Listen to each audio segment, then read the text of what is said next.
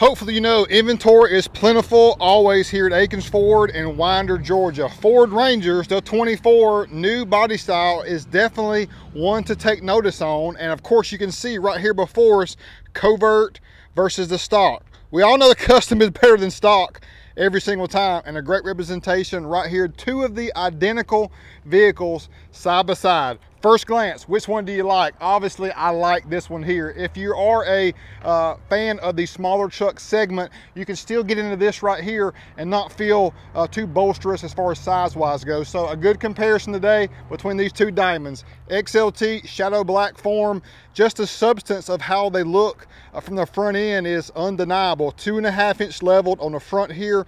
The stock Ranger, stock any vehicle is gonna be front side heavy slightly. You can see it right there. So definitely just leveling it up. To me, from a driver standpoint, it gives such a more, uh, much more confident feel overall, not being front side heavy. When I'm leveled, I just feel more confident. I feel more like a boss riding, uh, especially in something custom because the custom over stock thing is all about like the confidence level that it presents. Not that we're trying to show off or stunt for anybody. It's about like just a mindset of I'm in a vehicle that's dialed in to my taste, my personality, uh, my vibe more so than anything else and more so than anybody else's because this is unique to me personally. And that's what we're trying to put off here at Wild Willys. Not being boastful, but just showcasing uh, what is unique to you. So uh, tire-wise comparison, again, two and a half inch Superlift leveled here. Looking at 255 70 17. That's a essentially a 31 by 10 rounded off. I, you know, I'm about the details, but 31 by 10 here.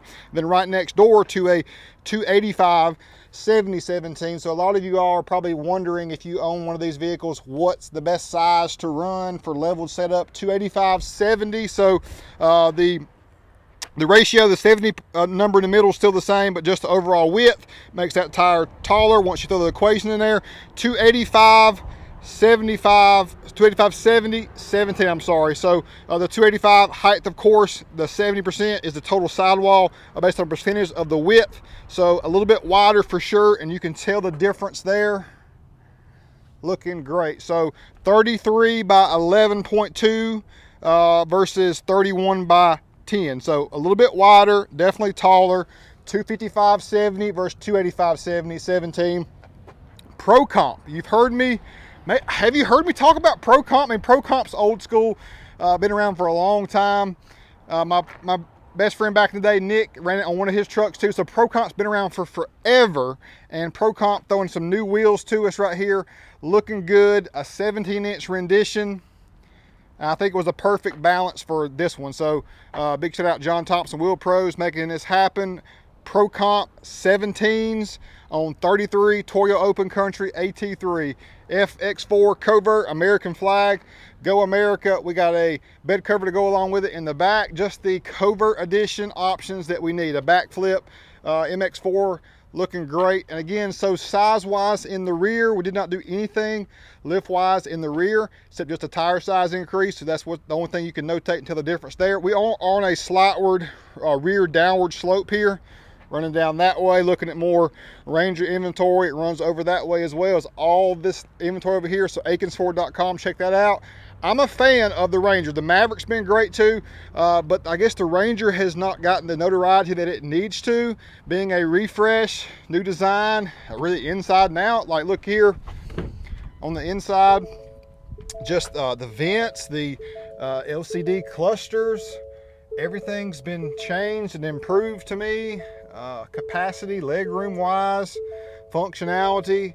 Uh, it's a money setup. I'm very much a fan of what they're producing here and uh, hopefully you've been a fan and follower of the channel. You've seen there's a lot of content out there that we produce on the Ranger Raptor. Look for more of those. We get on the Ranger Raptor. If I can get my hands on it, we're throwing 35s on that. That'd be pretty special as well. We tried to put a 34 on this. Uh, we tried to throw a 305 uh, 75 on this and it was just too much. But uh, we got to try it, especially on these light vehicle builds. Super important to try and make sure and see what will work, what will not work. That way, if we get a customer in here, we don't have to say, hey, we're going to trial and error your vehicle. We know exactly what works. Uh, as far as the offset, we're at a zero offset. I guess next time I would like to be in that plus range, maybe like a plus 12, plus 20, plus 18, uh, and still run this same tire size. That would get us inward a little bit more, but for the lot vehicle build, initially just wanted to showcase a more broad and wider stance. This will limit turning radius slightly more than here uh, because of that track there, the width, but also, in my opinion, uh, well, it's a, it's a, science fact that the, the handling is going to be improved and uh, overall stability by going wider right there. So I love the way it drives. Just spent some time with it today and, you know, not trying to be biased or any other thing. If I was just a person that was looking to buy a truck and keep it for a while, I would go with this one, y'all. Like, even if I'm not a custom guy, if I just came on a lot and this was the first Ranger that I saw and drove, I would be like, I love the way it drives. It doesn't feel erratic. It feels very controlled, stable, uh, and has the, a great appeal, looks, and improved capability. Uh, FX4 Covert Edition 24 Ranger Shadow Black, y'all. We're going to do more Ranger stuff coming soon, so stay tuned for that. But just wanted to showcase the latest rendition.